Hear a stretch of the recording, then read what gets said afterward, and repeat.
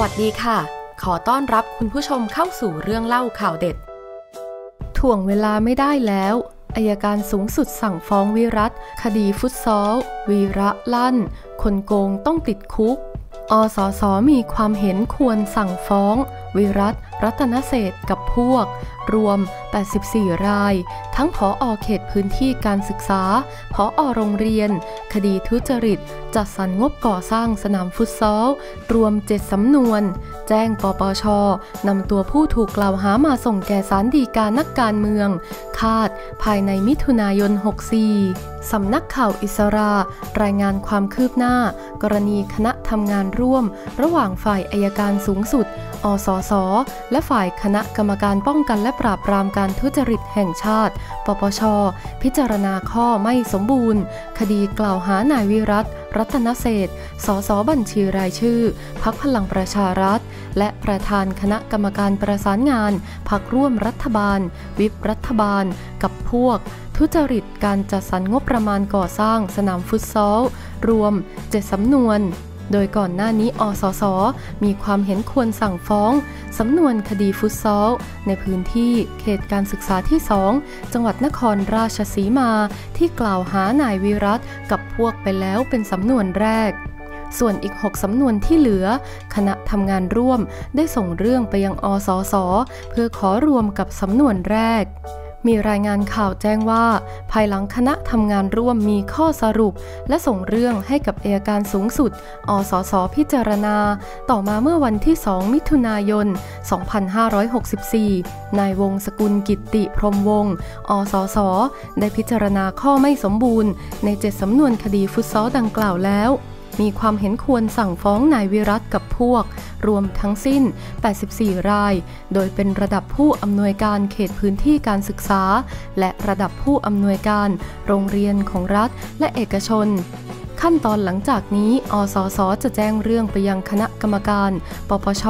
พร้อมกับแจ้งไปยังนายวิรัตและผู้ถูกกล่าวหาทั้ง 84 ราย เพื่อนำตัวมาฟ้องต่อศาลฎีกาแผนกคดีอาญาของผู้ดำรงตำแหน่งทางการเมืองต่อไปโดยคาดว่าจะนำตัวส่งฟ้องต่อศาลฎีกาได้ ภายในเดือนมิถุนายน 2564 ผู้สื่อข่าวรายงานว่า ภายหลังคณะกรรมการปปช ชี้มูลความผิดนายวิรัตกับพวกนั้น ต่อมานายวิรัตมอบหมายทนายความผู้มีอำนาจ ฟ้องคณะอนุกรรมการไต่สวน คดีทุจริตก่อสร้างสนามฟุตซอลพื้นที่การศึกษาที่ 2 จังหวัดนครราชสีมา ในประเด็น ใบโคตา กับสารอาญาคดีทุจริต และประพฤติมิชอบภาคหนึ่ง ต่อมานายเมธีครองแก้ว อดีตกรรมการปปชทำจดหมายเปิดผนึกถึงประธานและกรรมการปปชให้ทำทุกวิถีทาง เพื่อช่วยคณะอนุกรรมการไต่สวนชุดดังกล่าว ขณะที่พฤติการของนายวิรัตกับพวกที่ถูกกล่าวหาในคดีดังกล่าว ตามการถแถลงและสำนวนการไต่สวนของปปช ปรากฏข้อเท็จจริงสรุปได้ว่า ผู้ถูกกล่าวหาซึ่งประกอบด้วย ผู้ดำรงตำแหน่งทางการเมืองข้าราชการระดับสูง และกลุ่มเอกชน มีพฤติการร่วมกันทุจริตเชิงนโยบาย และเป็นตัวการร่วมกัน ในลักษณะการแบ่งหน้าที่กันทำตามบทบาทหน้าที่ และอำนาจที่แต่ละคนมีและเป็นการสนับสนุนช่วยเหลือซึ่งกันและกัน ในการกระทำความผิด โดยผู้ดำรงตำแหน่งทางการเมือง เจ้าหน้าที่ของรัฐและเอกชน ร่วมดำเนินการอย่างเป็นระบบ และเป็นกระบวนการ โดยทุจริต ตั้งแต่ขั้นตอนการจัดสรรงบประมาณรายจ่ายงบประมาณปี พุทธศักราช 2555 งบแปรยติ ให้กับสำนักงานเขตพื้นที่การศึกษา ในจังหวัดนครราชสีมา และจังหวัดอื่น รวม 18 จังหวัด วงเงินประมาณ 4,459 ล้าน 420,000 บาท ใน 2 โครงการหลัก หนึ่งในนั้น คือโครงการก่อสร้างสนามกีฬาฟุตซอล รวมถึงมีการวางแผนในการทุจริต ในกระบวนการจัดซื้อจัดจ้างอีกหลายประการ เพื่อให้กลุ่มเอกชนที่เป็นพักพวกของตนเอง ได้เข้าไปเป็นคู่สัญญา และก่อสร้างสนามกีฬาฟุตซอล ไม่สามารถใช้ประโยชน์ได้อย่างแท้จริง ตรงตามวัตถุประสงค์ในช่วงที่มีการจัดทำงบประมาณ ปีงบประมาณ 2555 นายวิรัตรัตนเศษนางทัศนียารัตนเศษสสพักเพื่อไทยในขณะนั้น และนางทัศนาพร เกตเมธีการุณ นายกเทศมนตรีตำบลห้วยถแถลงขณะนั้น ปัจจุบันเป็นสสนครราชสีมา พักพลังประชารัฐ ซึ่งเป็นน้องสาวนางทัศนียา รัตนเศษได้สั่งการให้พวกของตน เข้าไปประสานกับผู้อำนวยการโรงเรียนต่างๆ ในสังกัดสำนักงานเขตพื้นที่การศึกษา ประถมศึกษานครราชสีมา เขต 2 เพื่อจัดสรรงบประมาณก่อสร้างสนามฟุตซอลให้ โดยเข้าไปครอบงำบงการการใช้จ่ายงบประมาณในวงเงินดังกล่าว โดยปราศจากอำนาจตามกฎหมาย อันเป็นการต้องห้ามตามบทบัญญัติ รัฐธรรมนูญแห่งราชอาณาจักรไทย พุทธศักราช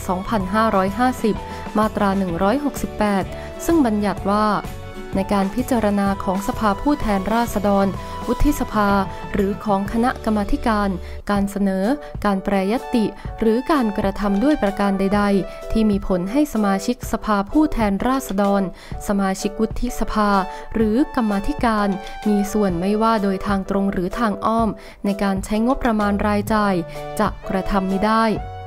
ล่าสุดนายวีระสมความคิด เลขาธิการเครือข่ายประชาชนต่อต้านคอร์รัปชันโพสต์ข้อความผ่าน Facebook ระบุว่าในที่สุดก็ดึงเรื่องถ่วงเวลาต่อไปอีกไม่ได้ อายการสูงสุดมีความเห็นควรสั่งฟ้อง นายวิรัตรัตนเศษกับพวกรวม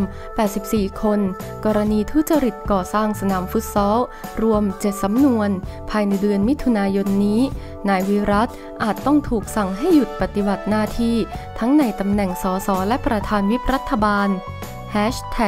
คนโกงต้องติดคุก ขอขอบคุณข้อมูลดีๆ จากสำนักข่าวอิสรา อย่าลืมกดติดตามพร้อมทั้งกดรูปกระดิ่ง เพื่อแจ้งเตือนเรื่องใหม่ๆ จะได้ไม่พลาดรายการเรื่องเล่าข่าวเด็ด ขอบคุณที่รับชม แล้วเจอกันใหม่ค่ะ